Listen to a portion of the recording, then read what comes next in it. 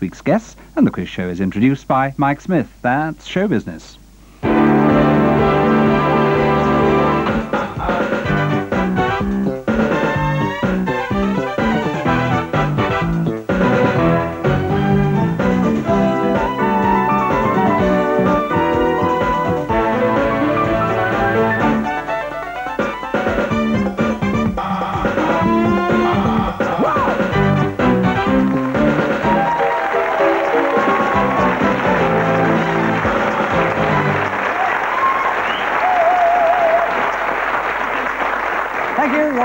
You're most kind. That show business is back despite popular demand. The program for which you at home need a pencil and a piece of paper so that you can sit there during the program and write nice letters to that nice Anne Robinson at Points of View. Please, please, please, get it off the screen. First this week we will mention our team captains, as we always do, a lady who now brings style and glamour to this shabby farrago, Gloria Hunniford. Are you talking about me? Mm. Ooh, thank you. I'm to welcome my team members tonight. I ha- delighted because I have a lady who could sell you anything, never mind this program, with her wit and charm and intelligence, Lynda Bellingham. And I have the man who's known as Mr. Talent, but only in Japan. They call him Kiss Talent.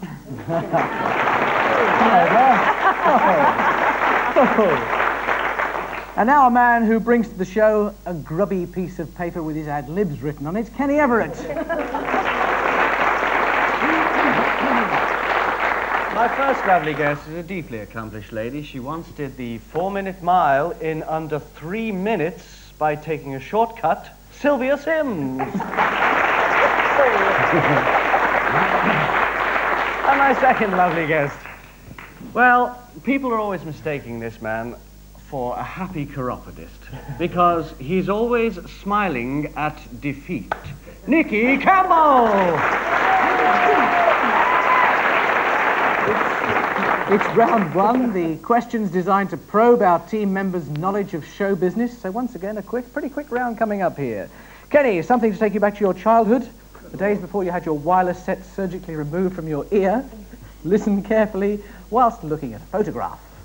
No signs of any Martians yet, I hope? No, Lemmy. Nothing but the wreck and the purple plain as far as the eye can see. You'd never guessed there was any kind of life on Mars from this view. Yes, That that, was... was- a space show, wasn't it, on radio? When radios used to be wood and they used to glow in the dark. It was called Journey into Space. That was Andrew Faulds. Yes. And whenever Jet they were Morgan. short of plot, which was most weeks, they used to just go through an airlock. They'd go, there's probably horrible things out there. Let's go and see.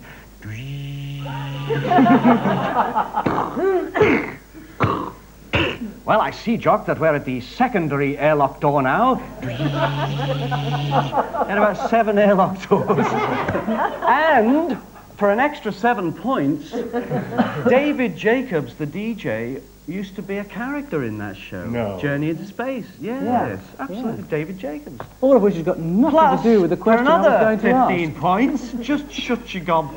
The, the guy who plays the washboard used to be in it as well. He was another character. Deryck Guyler, yes. Yeah, that's really fascinating, Kenny. Should we ask the question now? Oh, that wasn't the question. We are so under Jet Morgan, you saw. Yeah. Andrew Faulds. Who is he and what job does he do now? That was Journey into Space, wasn't it? Yes, it was Journey to Space. Yes, yes, after all that we finally got there. But he's Andrew Well, uh, Faulds. What is his job now? Well, from from space out there, he's now utilising the space between his ears to be a member of Parliament. Well done, yes. Yes. Do you know, do you know which team he plays for? The red lot, probably. Labour MP for Warley East. And which MP made this record? You can help me to change the face of British politics. Let's pull our country together instead of tearing it apart. Sounds horribly like David Steel. Yes. Maximum points after a fashion there for Kenny Everett. Gloria Hunniford, let's start with some gentle comedy from the last of the summer wine. You go astray with one tiny barmaid. oh, it's so unfair. I bet he doesn't punish you for the odd barmaid. His barmaid's a punishment enough. Well, Ginger were okay. She looked like a man-eating carrot. She held all comers in arm wrestling at that pub for years. Could so easily have been Mike Gatting and the English cricket team, but it was Last the Summer Wine. Can you name the three actors? Um, Bill Owen, I know. Yeah. Uh, Peter Combo. S- uh, Salis. Peter Sallis, Um, Seymour. Michael something. Yeah. Crawford. Yeah. Yeah. Barrymore? Yeah, Not too yeah, sure of that, yeah. though. Michael, was it Michael? Yeah, something? Mike, I'll give it to you. Michael Aldridge. Right. Aldridge. Second question. Can you name these two actors who preceded Michael Aldridge? Um, Bates, somebody Bates. Michael, Brian Bates? Michael Bates? Michael Bates, Michael Bates. yeah, and the second one was And very well-known face. Very wild. Uh, wild. Yeah, Um, yeah, I'll give it to you again. You're good on surnames, aren't you? Bri- Brian Wilde. Brian Wilde. Brian Wilde, okay, Oh, that's okay. Brian. hard. Sylvia, Sylvia Sims, welcome. Welcome. Your personal question here is a clip of a classic movie from a recently released video. Oh, what's the matter, honey? Matter what? You have such a strange expression on your face. I guess I'm a little tired. Or... Well, why don't you take a hot bath as soon as I get home? Well, how soon is that going to be, Blanche? Not so terribly long, but that's your soul impatient. It's not my soul I'm worried about. A knowing look on your face. What's the film and who are the stars? A Streetcar Named Desire. Correct. Vivien Leigh, Marlon hmm. Brando, Kim Stanley. Kim Stanley, Kim Hunter. Kim Hunter, sorry. Kim Hunter, Beg that's fine. pardon. That's okay. Marlon Brando, let's pick up on him. He appeared in Superman. How much was he paid per minute of screen time for his role? Was it A, $100,000, B, $250,000, or C, far too much? well, I thought, thought C, I think it was the highest figure you could get to for the seconds on the screen. C, far too much. Well, I, could, I should give it to you. He was paid something that people would consider far too much. He was paid $250,000 per minute, or $2,500,000 for 10 minutes on the screen. How much did you get paid per minute for Ice Cold in Alex? I got 30 pounds a week. Maximum points then for Sylvia Sims. Lynda, Lynda Bellingham, one of our finest comedy actors coming up for you now. It's going to be really nice, that, isn't it? Eh? There'll be there'll be me standing there in my white tuxedo with a red rose in my lapel, and I'll be swanning into the casino at Monte, and there'll be this hush, and a whisper will be running round the great salon. Mon Dieu, that is him, that is Granville. He's a tomato stacker. Obviously David Jason, but which series? Open all hours? Yes. Now, David also starred in TV's A Bit of a Do, but which of these actors was originally going to play his part? Kenneth Branagh, Derek Jacobi, Tom Conti? Um, I haven't got a clue, but I'll, I'll guess Tom Conti. Good guess, but wrong. Oh. Derek Jacobi. Ah. Couldn't do the TV series because he was playing Shakespeare's Richard II and III on stage. Got great Quite reviews. similar, really. But Yeah. less money. uh, well done, Lynda. Nicky, you know all about wild and raunchy rock and roll. Oh, certainly, We understand, yes. Especially in Scotland. Take a look. Right. One thing I loathe is jobs for the boys. Who is this Glenadol anyway? What's her credentials? Apart from being in a position to blackmail Chum Vincent. I see you big palooka. Cool it. We're not going to get anywhere getting physical. He started it. You know what you are, don't you? You're a moron. Always have been and always will be. Robbie Coltrane in Tutti Frutti. Can you name either of the other actors? And I think Chris Tarrant is jumping at the bit. Maurice Roëves. Maurice Roëves, yes. And uh, that was, I only have to name one of them. That's true. You know, yes, all right. Take it down to minimals then. Or Jake D'Arcy. Jake, that brilliant Tutti Frutti, wonderful series. Didn't ask you to say that, Nicky. Robbie Coltrane recently performed a one-man show in which he played a great lexicographer. Who? Um, Dr. Johnson. Dr. Samuel Johnson, yes. Maximum points still for Nicky Campbell. Chris, your question. Three men linked by one song. Can you name the men that you see and the one you hear murdering the song?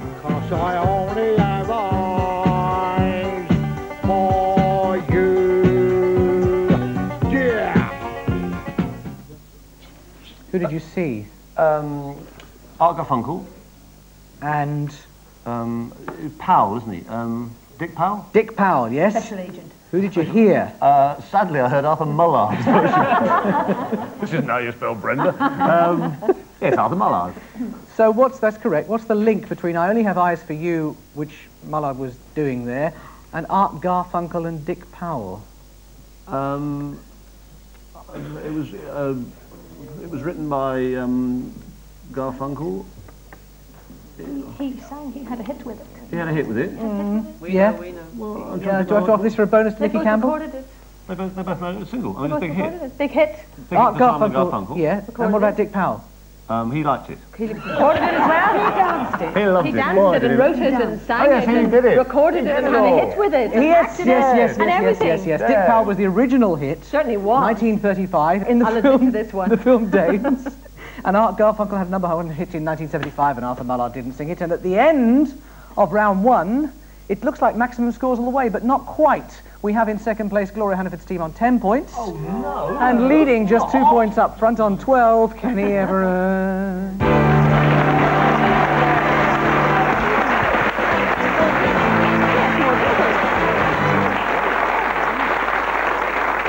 And what we need on this show are some laughs.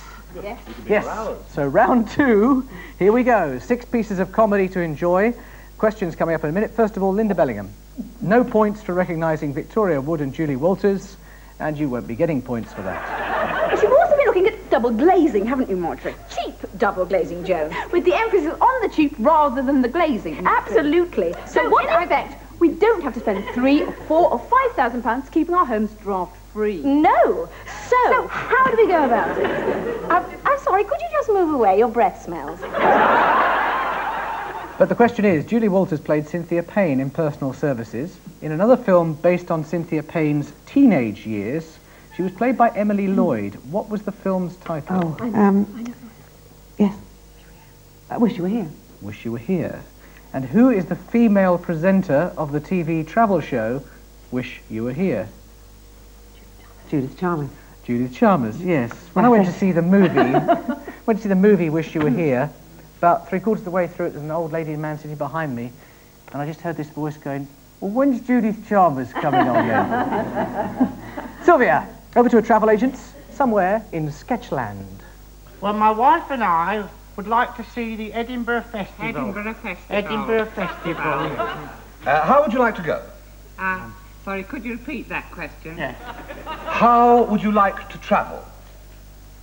Don't know. Neither do I. What's the answer? Yes. I am not asking you a riddle, madam. I am seeking information. Do you want to go by train, plane, or coach? No. No. No what? Thank you. That's better. Yes, I know how he feels. How many of those can you name, Sylvia? Uh, John Junkin, Mm-hmm. Tim Brooke Taylor, and the late, great Marty Feldman. Well done. Now, from one Marty to another, film of the same name, Marty. The leading actor won an Oscar for his role. Can you remember his name? Alice Borgnine. Maximum points for Sylvia and the woman Sims. was played by Betsy Blair. No bonus point, though, but well done. Chris Tarrant. This is where we hand over to a new satellite station called KYTV, who are covering the dramatic events of an embassy siege. One of their reporters is talking to the terrorists. And how is your Arabic? I've had a lesson. And what can you say? Uh, Imi ishta in mana. What does that mean? My pencil is on the floor. Well, I'm sure all you'll need when negotiating with blood-crazy fanatics is to be able to say, my pencil is on the floor. Imi ishta in mana. Oh, you're able to say it twice. That'll come in handy. Anything else? Do you recognise either of those men? Uh, the enormously talented um, Angus Deayton, who I saw him doing a one-man show with Rowan Atkinson a few years ago, for which I paid nothing at all for the ticket. I'd like to thank the theatre very much indeed for making that possible. As is your Oh, you could have named Michael Fenton Stevens there. And Michael Fenton Stevens was- was the other one. On the left. Right. What else do you need to know? Before moving to KYTV, those people involved ran a commercial radio station called... Oh, what's it called? That's what I'm asking you. They're the heebie-jeebies as well, aren't they? But what's it called? Radio thingy. Um, oh, how annoying. No ideas? Radio he Famous uh, BBC Helen series? Atkinson Word and all that lot, and I can't remember what it's called. Radio 1, I think. Bonus point to the other side? Oh, oh come on, it's radioactive. Radioactive. Nicky Campbell got the bonus point there. Oh, come on. Ruffian. Really? Let's put him on the spot with his own question now. We now move to the higher echelons of big business. Dear Mr. Povey, thank you for your letter of the 14th. I'm enclosing your application herewith as the vacancy has already been filled. Sorry I'm late, Brian. The traffic was an absolute pig. Oh, that's all right. I was just catching up on some correspondence. Yeah, it's good to get it out of the way, isn't it? Exactly. Uh, right, now, should we crack on? Yeah, as I see it, there are a number of routes we can take. Yeah, care to listen for me? Sure. Um, we can tackle the problem of uh, restructuring distribution lag almost immediately. Can I just interrupt you here? Certainly, Peter. Thanks. Pleasure. They were? Um, Stephen Fry and Hugh Laurie. Correct. Both of them appeared in different series of Blackadder. Can you remember either or both of the characters they played? Yeah, um, um, Hugh Laurie played the Prince Regent. He did, that'll do. And Stephen Fry. Oh, who did he play? Oh, come on. It doesn't matter because you've got your score. Oh, I've got my score, that's but, it. But we want to put you through the pain of it anyway. Oh, um, Lord Nelson. Uh, Clo- Lord Melchett, courtier to Queen Elizabeth I. Who played Queen Elizabeth I? Uh, Robbie Coltrane. And...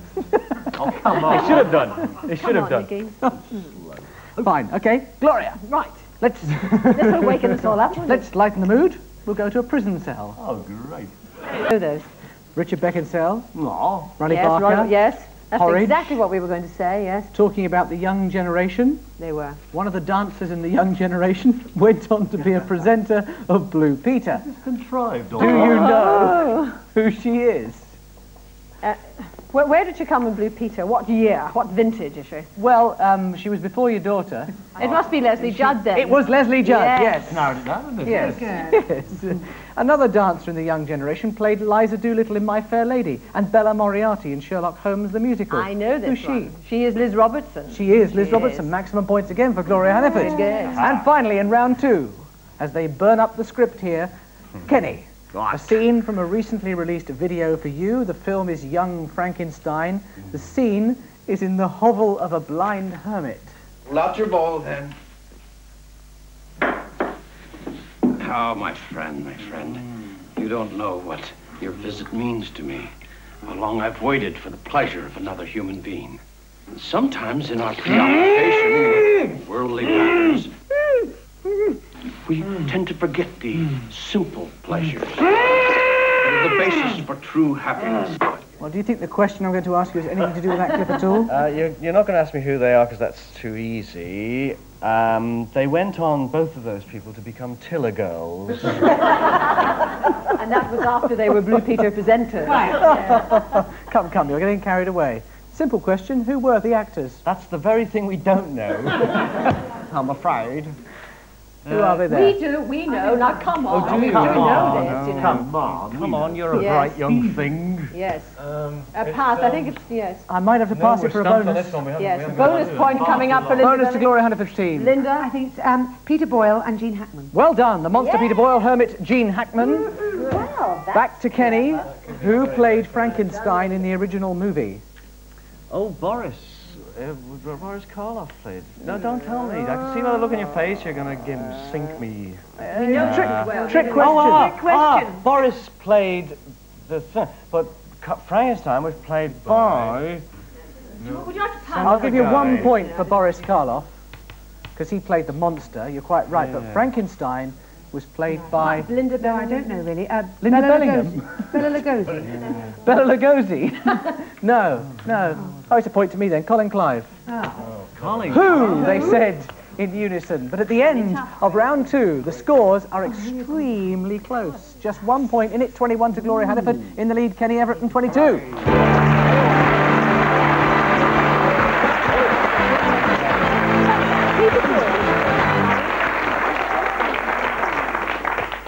Nicky Campbell's becoming insufferable. He's now applauding his own team. Round three is a team effort. Each team is going to see six pictures and hear two pieces of music. We start with Kenny's team. Now, the clue is each of your photographs is of a pop star who tackled a serious acting role in a movie. You have to name the star and the title of the film and identify the people you hear singing in the film that the songs came from.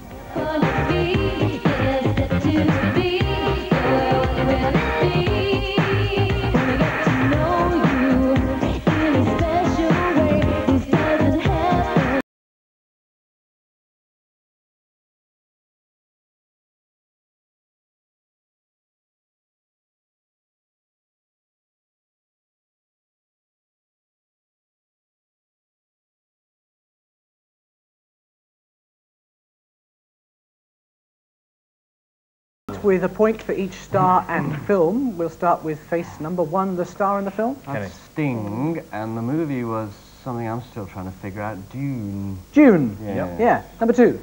Tina star of Turner? the film. Yeah. Tina Turner Mad- in Mad Max. Mad Max Beyond the Thunderdome. Three. Paul Jones, but we can't. Is that Hump Girls and Dinettes? no, it's a stage show he was in. They didn't make a movie of that yet. Or rather, they haven't made a movie of it yet. They didn't make the movie They, didn't, yet. they haven't not made the movie yet, John. We know. Oh, they know the answer. Bonus point? Oh, let's go. bonus points. Performance. Privilege. Do they get deductions? Next one is Cher. Sylvia Sims is getting competitive now. He's getting ridiculous. Four. The star of the film. Cher. Cheryl Cher from Moonstruck. Moonstruck. Yes. Five. She's, she's been in many movies. Five. Uh, five. Uh, Roger Daltrey, McVicar. McVicar. Yes. Six. Bob Geldof. The Wall. The Wall. Correct. Who did you hear? We What film did it come from? Madonna from Desperately Seeking Suvan. Uh, And- Suvan. Desperately Seeking Suvan. Get into Phil the Collins. grooves. Phil Yes. Collins. Phil Collins. Two Hearts from Buster. Buster, yeah, almost maximum points. Well done to Kenny Everett's team there. It's 37 to 21. Glorious team's chance to catch up now. Another series of pictures and sounds. This time you're going to see actors who have made hit records. Identify the faces, the titles of their hits. Can you identify the two people you hear as well? Don't give up on us, baby. Lord knows we've come this far. Can't we stay the way we are?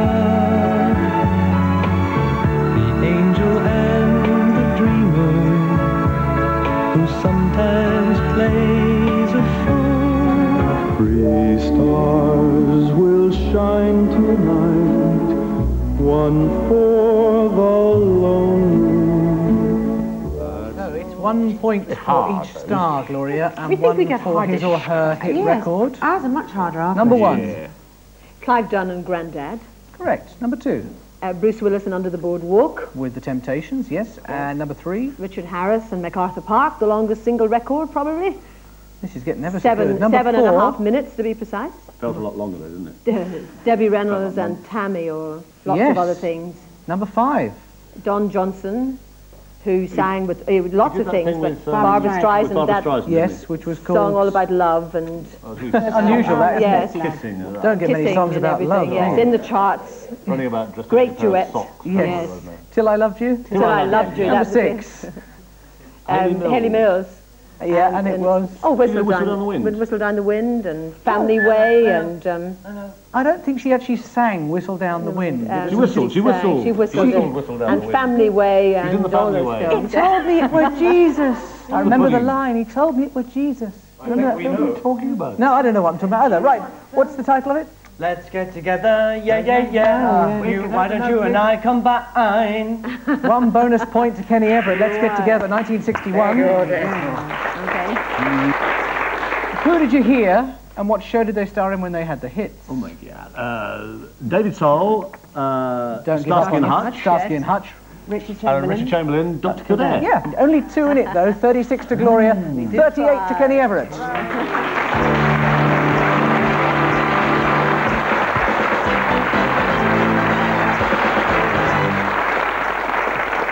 And this is the good bit.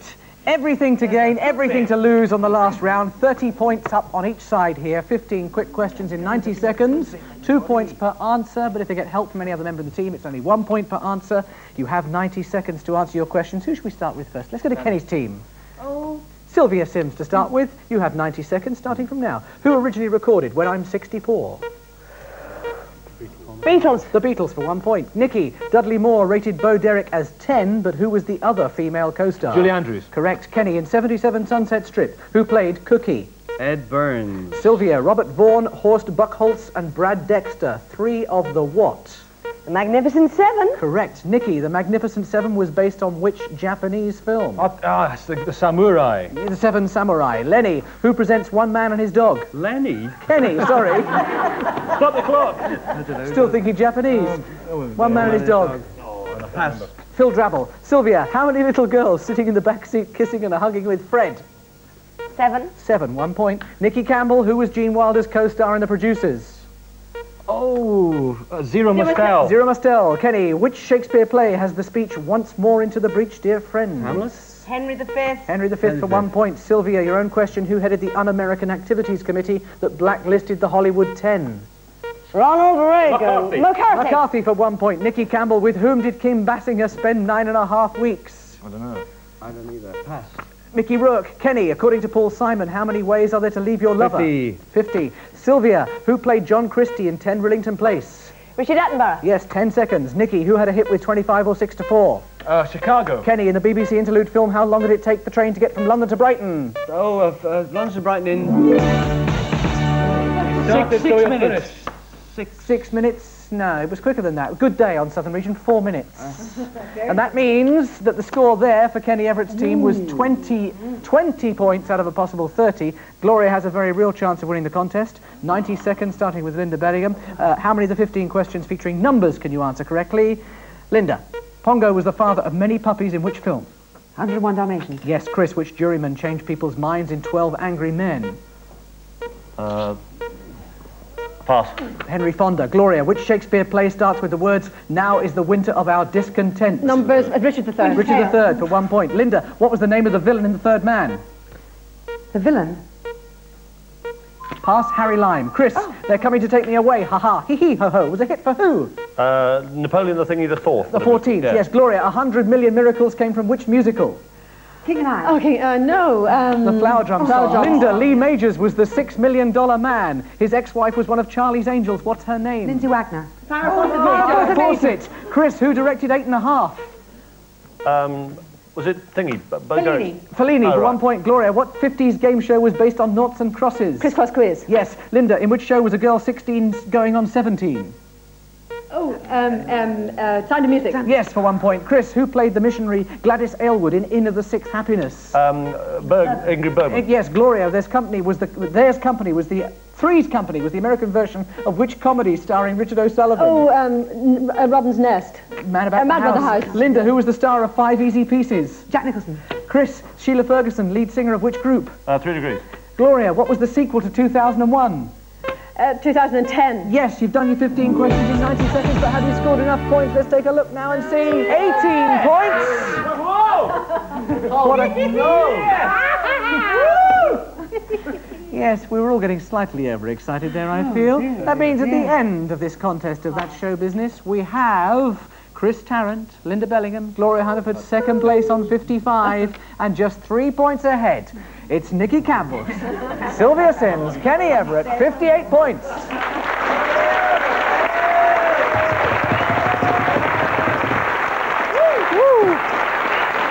You won't find competition much hotter than that until you see the next edition of That Show Business. Do join us again. Bye-bye.